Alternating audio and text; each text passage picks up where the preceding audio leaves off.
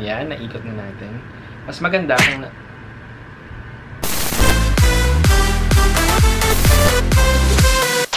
Hey guys! Welcome back to my YouTube channel at para sa video natin ngayon, hindi muna tayo gagawa ng mga prank call, ng mga challenge, or ano ba, ng mga kung ano-anong video. Pero, this video, related pa rin siya sa food. Kasi actually this week, alam nyo, na-addict ako manood ng mga kung ano-ano mga luto-luto sa YouTube. So, parang na-feel ko na, bakit hindi kaya this time, magluto naman tayo ng isang mga simpleng recipe lang na pwede nyong gayahin sa bahay nyo. For sure, kung sakaling meron kayo ng mga ingredients na to, magagawa nyo rin. Kaya para sa video natin ngayon, susubukan natin gumawa ng tinatawag nilang spam musubi. So para sa mga hindi nakakalam kung ano yung spam musubi, and for sure, yung iba sa inyo, nakikita na yon ito yung itsura nun. Yan, yan ang tinatawag nilang spam musubi. Eh, actually, nakikita ko lang to sa mga mga convenience store. Ito yung mga nasa freezer. Hindi naman freezer. Parang chiller lang nila na pwede mong kunin, tapos bilhin mo na, and ready to eat na siya. Itong spam musubi talaga, ginawa siya para maging to-go food siya.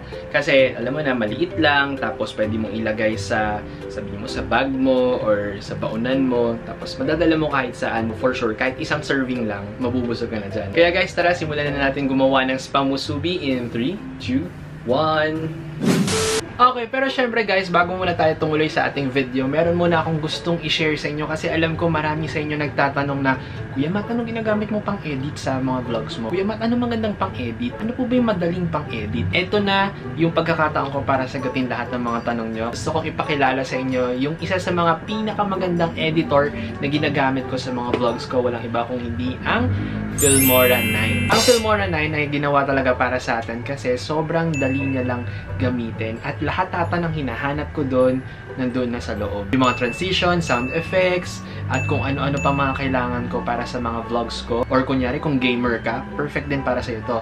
Tingnan nyo itong mga gagawin ko. Ayan, so nandito tayo sa aking Google and type natin Filmora 9. So, ito yung website ng Filmora 9. Kitang-kita nyo naman kagad siya. Then, yan. Free to download siya. Tapos, download lang natin. Then, install nyo lang. Available siya sa Windows and Mac. So, ako, naka-Mac ako ngayon, kaya wala akong problema. After you download the application, kailangan nyo siyang i-install. So, yan, after natin ma-install, makikita nyo dito, ito na yung pinaka-interface ng Filmora 9. Kung makikita nyo, halos lahat nandito na agad sa interface, nakaharap na kagad sa'yo. Hindi ka na maliligaw kasi makikita mo sa taas, nandun yung media, audio, titles, transition, effects, elements, split screen. So, yung mga basic na hinahanap natin for vlogging, nandito na lahat. So, yan. Nag-import na ako ng mga ilang-ilang videos natin. So, dito sa media, makikita natin lahat ng mga files natin na ginagamit. Siyempre, yung mga basic na kailangan natin dito, nandyan na yung mga pag-cut, kayang-kaya lahat yan ng Filmora na yun. And syempre, pag nag-vlog tayo, kailangan natin ng music, mga background music, yung mga sound effects. Lahat ng mga hinahanap natin sound effects, nandito na lahat. All you have to do is to drag dun sa timeline mo kung saan mo siya gustong ilagay. Syempre, nandito yung mga titles, kung gusto mong gumawa ng credits, or yung mga tinatawag natin na lower thirds, yung mga nakita natin na text dito sa baba ng ating videos, yan. So, dito rin sa Filmora 9, makita natin sobrang daming transitions na available. Yan yung mga makikita mo dito, mga pang-professional talaga tingnan yung transitions niya. All you have to do again is to drag lang dun sa timeline mo kung saan mo siyang part gustong gamitin yung transition. And syempre, kung meron tayong mga transitions, meron din tayong effects dito sa Filmora 9. So dito sa effects, mas mapapaganda pa natin yung quality or meron tayong mga mood na gusto ma-achieve sa mga videos natin, nandito na sa mga effects. So, ang daming choices mo dito pwedeng pagpilian and hindi ka na mahihirapan. Pwede mo kagad siyang i-preview dun sa video na ginagawa mo. Syempre, kung gusto mo naman maglagay ng mga konting elements, available na rin siya dito sa Filmora 9 para para mga split screen. Ito lang yan. Mamili ka lang ng template mo ng split screen. All you have to do is to drag. Yan, magda-drag ka lang. Then, i-import mo lang dito yung mga media clips na gusto mong ilagay dun sa part 1 and sa part 2 o kung ilan man yung gusto mo. Marami kasing templates na available. Yun lang guys. That's it. That's the Filmora 9. Very simple to use but powerful application na pwede nyong gamitin pag gumagawa kayo ng mga vlogs nyo. Kaya sa mga aspiring YouTubers natin na gusto mag-start mag-vlog at naghahanap ng perfect sa kanila na editing software, ito na yon Filmora 9. It's available on Windows and syempre available din siya sa Mac for free. You can download it for free. You can check yung description box ng video na to. Lalagay ko dun yung link para ma-download nyo rin tong Filmora 9. So yun lang guys, balik na tayo sa video natin. Let's go! Okay guys, alam nyo, sobrang dali lang gawin itong spam musubi nito. Ang mga kailangan nyo lang i-prepare ay, syempre, kailangan nyo ng spam. And kailangan nyo ng seaweeds. Ayan, alam yung kulay green. Yan. Syempre, kailangan nyo ng kanin. Syempre, clean wrap. And dahil hindi ko siya dala dito sa kwarto ko, kailangan nyo rin pala ng toyo, and asukal. Mamaya sasabihin ko sa inyo at ipapakita ko rin sa inyo kung para saan yung asukal sa toyo. So, yun lang mga kailangan nating ingredients. Very basic lang. Kung wala kayong spam, pwede kayong gumamit ng ibang mga sabihin natin na meat na mga dilata na meron kayo dyan sa bahay. Basta katulad ng spam, pwede na rin yan kahit hindi naman actually spam na brand. Marami pa dyang available. Basta ganito. So, ayan, simulan na natin yan para magawa natin. Siyempre, lutuin muna natin ang spam. And ang una natin gagawin, siyempre, buksan muna natin itong spam. Favorite ko to eh. Yung mga easy to open cans. Mm, easy to open pero hindi ko mabuksan. Mm. Ingat lang kasi baka mamaya masugatan kayo. Hindi nyo na makikita kasi may na one-man team tayo dito. Grabe ang bango ng spam. So, tandaan nyo, hindi nyo muna dapat itapon tong lalagyan ng spam kasi magagamit nyo to mamaya. Importante to. Hihiwain natin ng mga tamang kapal lang yung spam natin.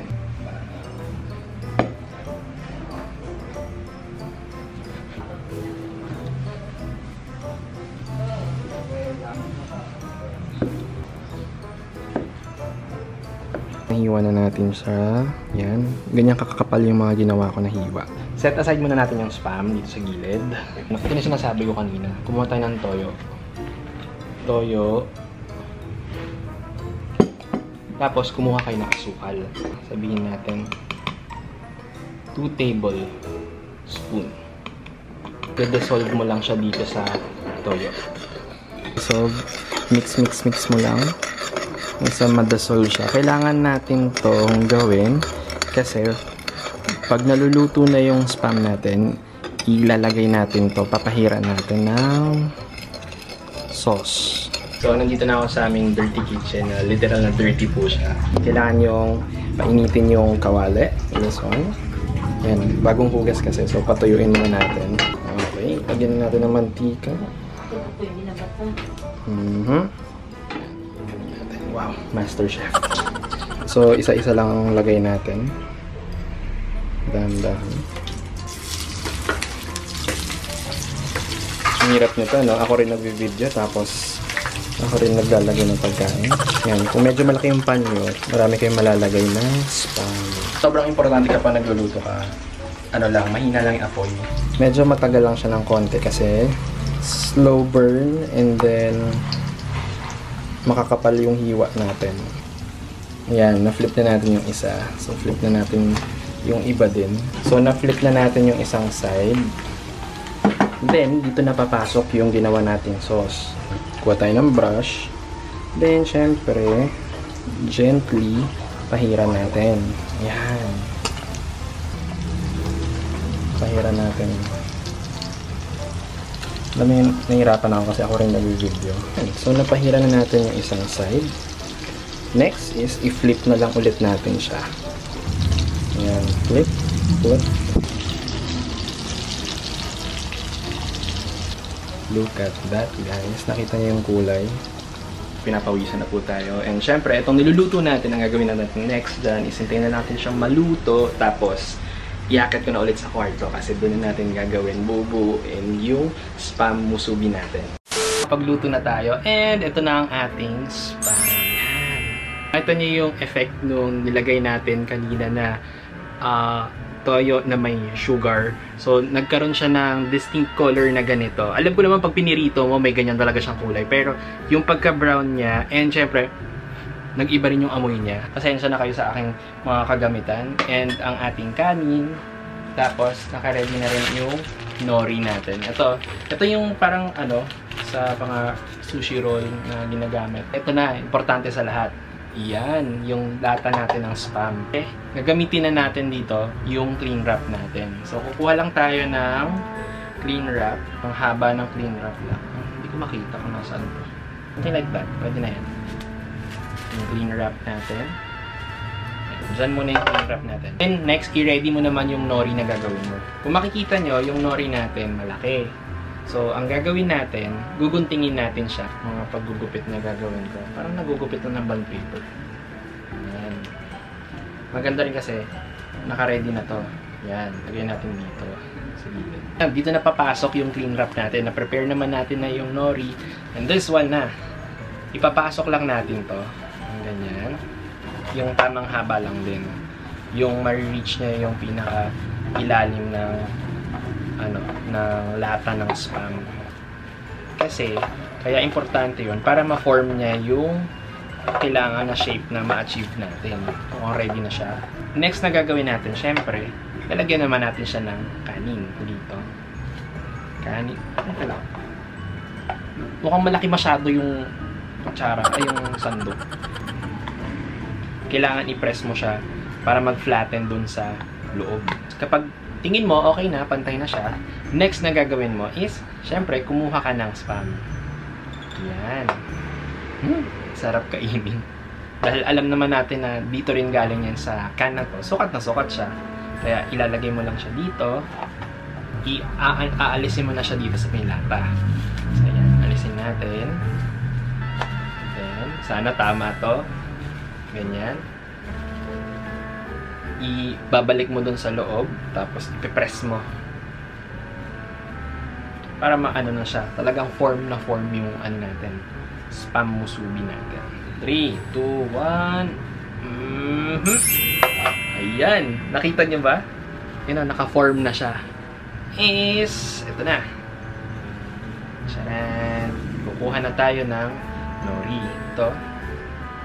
Tapos, i-wrap around lang natin dito sa ating na form na rice. Ayan, naikot na natin. Mas maganda kung na... Ala, nalaglag. o, oh, kunyari na lang, ayan. Kunyari na lang di nalaglag dito. And ayan, nagawa na natin ang ating, kunyari na lang hindi siya natatanggal, ang ating spam musubi. So, ayan. So, meron na tayong nagawang isa. Lagay na natin dito.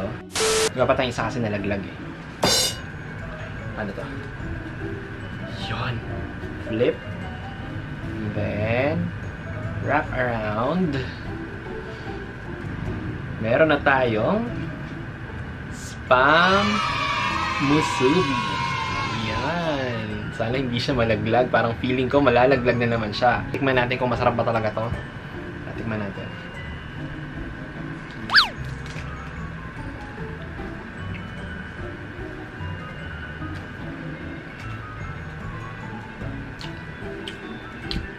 Sarap.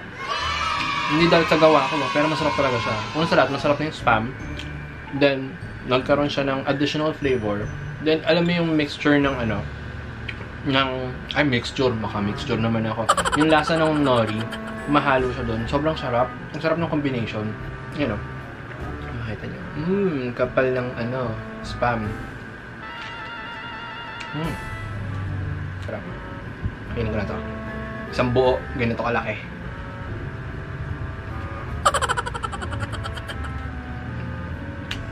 Ang sarap. So ayun, sana natakam kayo at na-inspire kayo na gumawa rin ng ganito. Actually, perfecto kapag kunyari sobrang busy mo sa tinatrabaho mo, nasa desk ka lang, tapos sa gilid mo meron ganito. Kainin mo lang habang nagtatrabaho ka, walang problema. Isang ganon or dalawa, busog ka na eh. Actually ako isa lang, pwede na ako busog na ako kasi hindi naman ako ganong kalakas kumain din ngayon. Ayun, sana guys may natutunan kayo sa video na to. And syempre kung nagustuhan nyo itong video na to, please don't forget to give me a big thumbs up and syempre huwag nyo rin kakalimutan na mag-subscribe sa aking YouTube channel dahil konting-konti na lang magti 300,000 subscribers na tayo. Yes! Thank you po sa inyong lahat. Siyempre, don't forget also to follow me on all my social media accounts para updated kayo sa mga iba't ibang ganap ko sa buhay. May siyempre, bago matapos ang ating vlog, meron tayong mga shoutouts na gagawin. Shoutout tayo sa mga nag-comment sa aking previous vlog. Ito, simulan na natin siyempre kay Ipe Aguinaldo, Hazel Opilan, kay Mac Lorenzo na wow, taga Taiwan pa siya, kay Renz Pagayunan na prinank ako, kay April Evangelista, kay Rhea May Magsino, and syempre lastly kay Ella May Anisete. Yan! So maraming maraming salamat sa mga nag-comment. And that's it guys, maraming maraming salamat and I hope to see you on my next vlog. Bye-bye! Música